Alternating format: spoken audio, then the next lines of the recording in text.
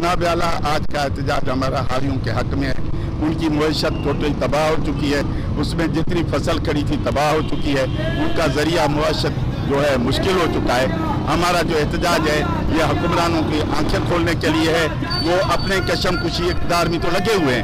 جنہوں نے ان کو ووٹ دے کے عوانوں تک پہنچا دیا، ان کی کوئی فکر ان کو نہیں ہے۔ ان کا جو ہے کمپنسیشن کی جائے، ان کو پر کر جو ہے کم از کم بیس ہزار روپے نقصانات جو ہوئے ہیں، سروے کرا کے وہ دیے جائیں۔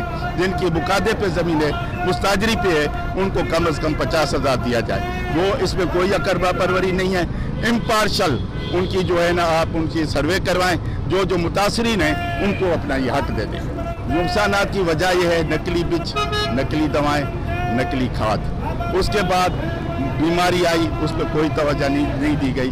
اس کو سفید مچ کہیں، ملی بگ کہیں، جو بھی تھی، ان پہ وہ اتنی بے اثر دوائیاں تھیں۔ مجھ پہ کوئی اثر نہیں کیا۔ ایگریکلچر کا کیا کردار ہے؟ ان کے وہ بھی جیسے دوسرے سو رہے ہیں وہ بھی سو رہے ہیں۔ سی ایم صاحب کا حق نہیں بنتا باقی وزیروں کا حق نہیں بنتا۔ چلو مین وزارت تو زراعت ہے۔ باقی وہ یہاں کے جتنے ہمارے ایم پی اے صاحبان وزارتیں لے کے مزے لے رہے ہیں، ان کو حق نہیں پلتا کہ اپنے لوگوں کی جا کے پرسان حال جو ہیں، ان کی مداوع کریں، ان سے جا کے ملیں اور انہوں اپنی وزارت، متعلقہ وزارت کو مجبور کریں کہ ان کا مداوع کیا جائے۔ اگلا کم ہم اس کو بڑھائیں گے۔ اس کو صرف جہاں تک نہیں رکھیں گے ڈویژن۔